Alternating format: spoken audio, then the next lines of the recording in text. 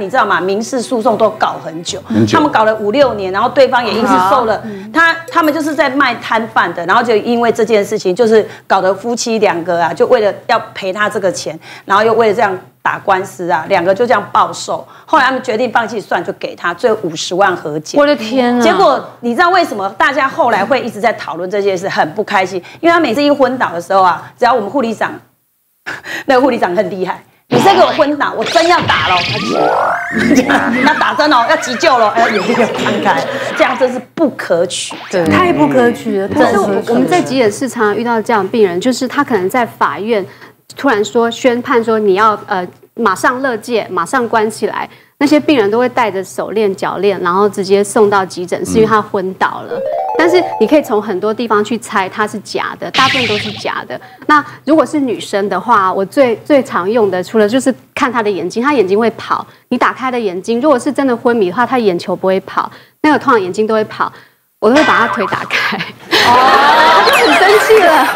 他就夹紧，没错，对，因为有时候压压压那个压痛什么，他们就是盯住，对，盯着，还能忍，对不对？对对，那万一你打开它就开了，他就他们就很生气，嗯，脏话就出来，嗯，那如果打开不骂脏话，你就通过了。啊，因为他打你打开他就会有反应，那就是啦。你知道急诊它是一个非常忙碌的环境，然后大家前面如果说检伤站人员有空的话，就会跑进来帮忙。那天也是里面忙得非常非常的混乱，就对。突然检查站有一个女生病人大叫，然后说：“我吸不到气，我心脏好痛。”然后就一直叫，然后一直装很喘的样子。所有人冲上去，直接推进急救室里面。可是她的脸色很红润，血压很正常，脉搏很平稳，EK 就心电图也是非常平稳漂亮的。然后因为急诊室打的针是比较大支的，因为我们随时要灌输大量的体液，所以大支一打下去，他本来还在大叫哦，突然就不动了。然后大家都好的，到底有什么问题？然后他也就平稳了，医生就走近他问说：“请问一下，你到底有哪里不舒服吗？”他突然很小声的说：“可不可以帮我跟外面那个男的说我有事？”我 说：“真的很有事。” 急着忙的要死，然后大家瞬间站起来。转身就走人，然后医生就说这个推到留观区去，不用理他了。然后说都是他害我变成这个样子的，为什么你们不能帮我骗他？然后就她只是为了要气她男朋友，把大家弄得乱七八糟，急救室所有的资源都用了。没错后来她不是她没有这样子就就此罢休，她后来推到留观区休息之后，她男朋友去。就是小便的时候，他还是一直跟我们说，不然你可不可以帮我开个诊断证明？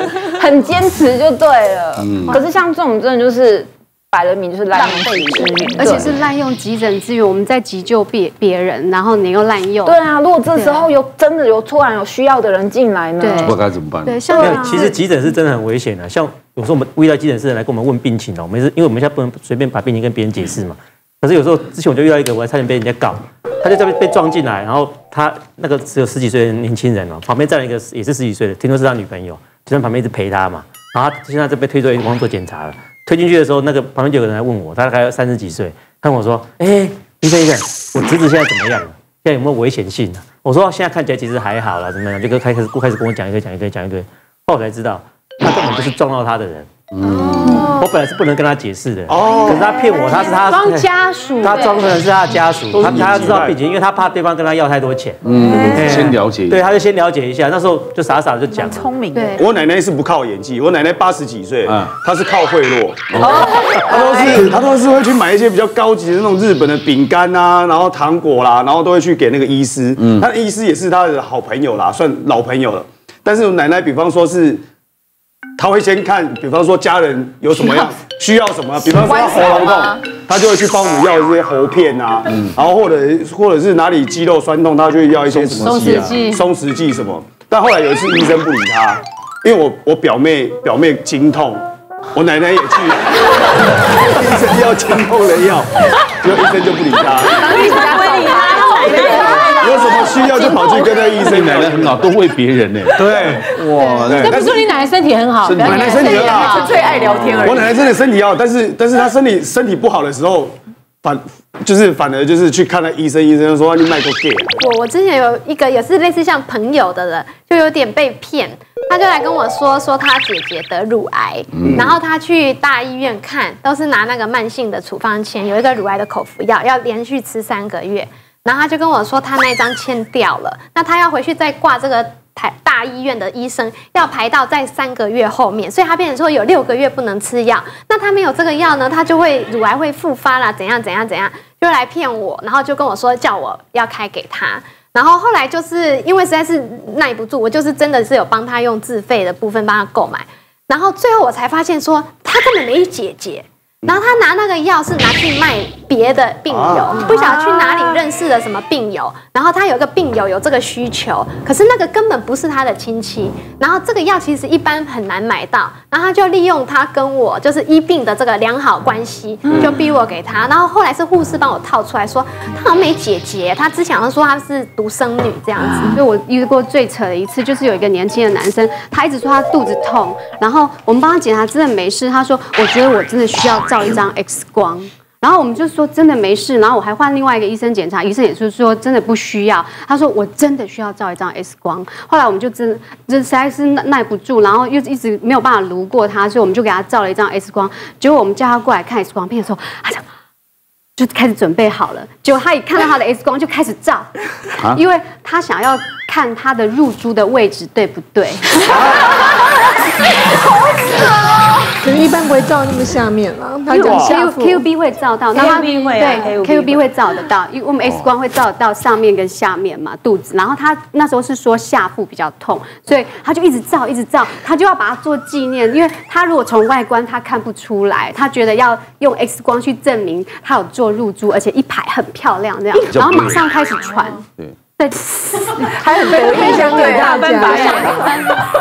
啊，什么？为什么会这样呢？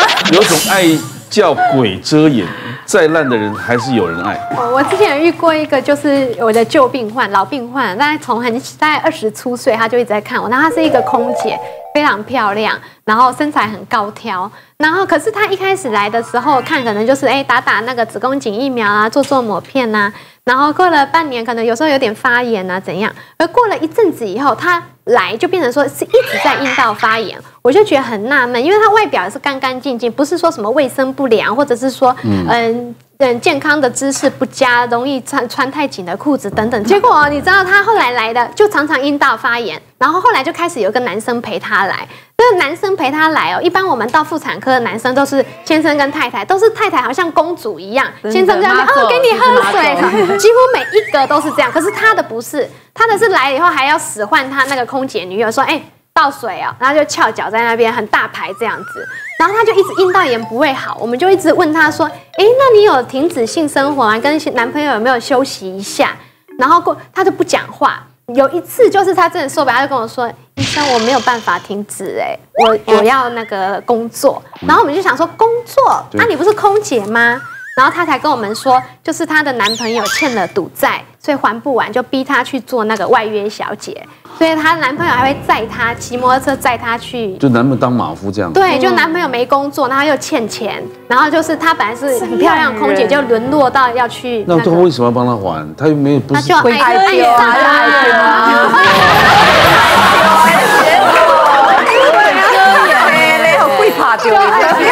哇，那真的好相信，空姐真的很漂亮哦，价格应该也不错。像我之前就有一个护理师朋友啊，然后他也是啊，就是呃，就是他才刚毕业，护专刚毕业，然后进到开刀房去工作。所以，呃，他们开刀房里面就是有一个骨科医师，然后就比较花心一点。他其实已经有老婆小孩了哦，可是啊，就是他还是都会找这种就是刚入社会的菜鸟的护理师，因为就长得年轻啊、漂亮啊，然后又涉世未深，对，涉世未深，就是又不太了解这样。那骨科医师就是这个骨科医师就会骗他们，骗他说他已经离婚了，然后就是很爱他等等的。那这个护理师就傻傻的，就是跟他在一起。然后可是在一起的时候啊，他就发现说，哎，怎么他好像也跟他另外一个就是呃，另外一个也是同样是开刀房护理师的，就是他的好朋友，对这个女生的好朋友，就是走的也很近这样子。那他就想说会不会是劈腿，可是也没有证据。后来有一次他确实就是看到这个她的闺蜜跟她的这个骨科医师从宿舍走出来，一起从宿舍走出来，她就去问那个骨科医师说：“哎，你这个就是就是你跟他是不是就有点类似像质问他？”然后这个这个医生他就讲说呢，他说没有啦，是因为呃你好朋友哈，就是他膝盖不舒服，我帮他做一些治疗，我帮他打玻尿酸。然后他跟我们讲的时候，我们就想用什么打玻尿酸？二十几岁有什么好？请问你用什么地方来打玻尿酸？我们是医学节目。后来又有一次，她也是看到她的闺蜜跟这个这个男生就是手牵手，还就是在逛百货公司，然后她就这次她真的受不了，她就去问这个男生，男生就跟她讲说就是说他的骨头不好，不是帮他打玻尿酸，附件就是附件的一块，你需要走楼梯。因为我上次不是跟你说过他膝盖不好，所以我牵着他，然后白痴哎然后我就觉得他对是有问题，就是你赶快跟他分手，但是他也不愿意。我觉得有时候爱到了，就是就是那个鬼遮眼的情就会蛮严重的。后来是有一次他在医院里面看到他牵着他的太太，就骨科医牵着他的太太，医院还有多少鬼遮眼的故事？广告后告诉你，千万别错过。